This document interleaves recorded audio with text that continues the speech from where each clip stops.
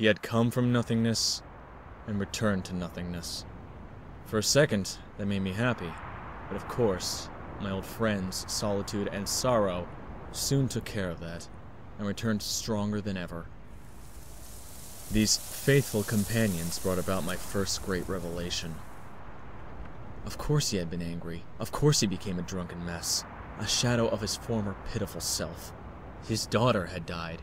His own daughter, whose remains he was made to witness with his own eyes.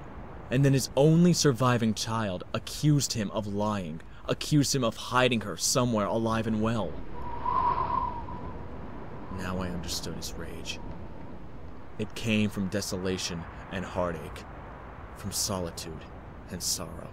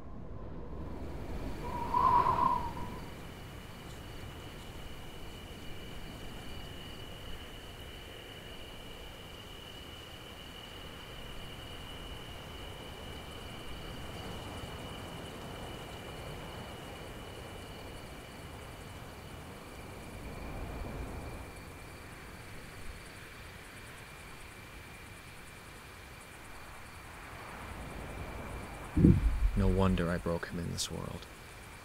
I already had long ago.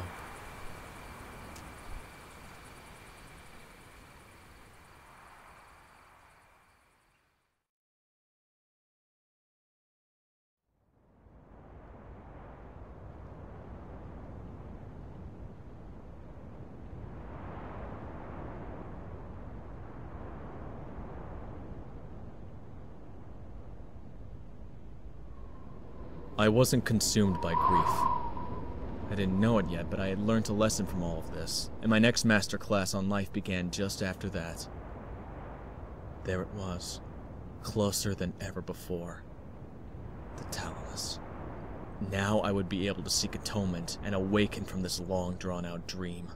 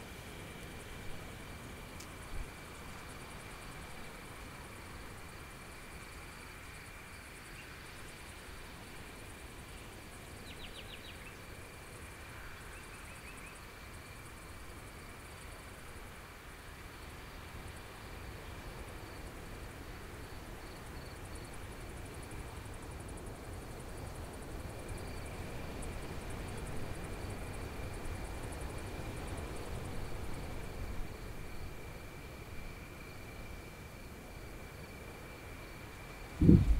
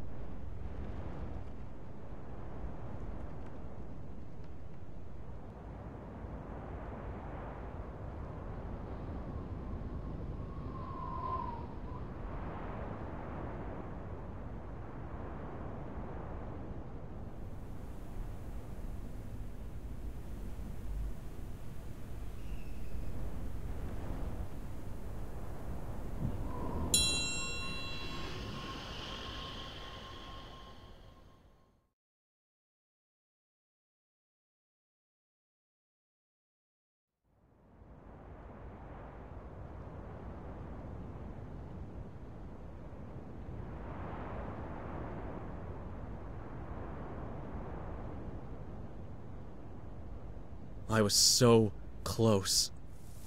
These new obstacles wouldn't faze me, nor would the corruption that was spreading all around. I was ready to seek forgiveness from the prime mover behind it all. I had seen Sophia's death through the looking glass and confronted my inherited demons. I was ready to wake up.